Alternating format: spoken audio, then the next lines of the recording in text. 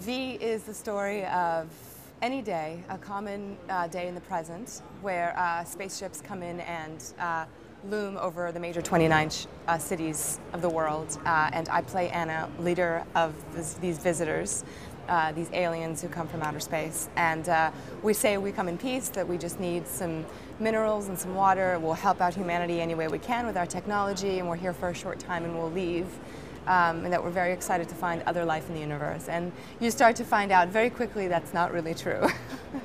we kept some iconic moments from the original, but changed it to make it a different show. So it's not the same remake, because that would be very boring. Don't be frightened. We mean no harm. Erica was interesting to me because I liked the fact that she was a mother. And um, and she was also interesting because I feel like she wasn't a fully formed kind of hero yet. Like she's in the process of becoming that. And she makes terrible choices and she is working so hard and has so many kind of like things that hold her back from doing what she needs to do here. So um, towards the end of the show, she really starts to come alive and take action and, and um, and tries to save the human race.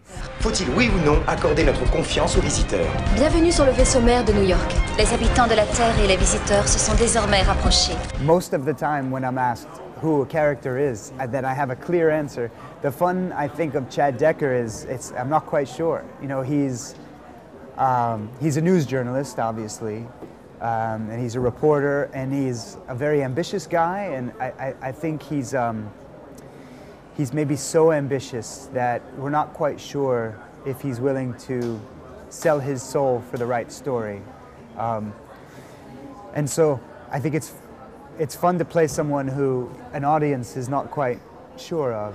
And in this case, I'm not even sure whether he's a hero or a villain. He could be, he could be either. It's about, I think, where we place our faith.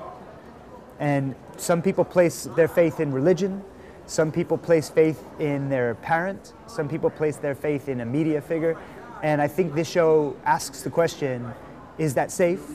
And, um, you know, what happens if you put your faith in the wrong thing?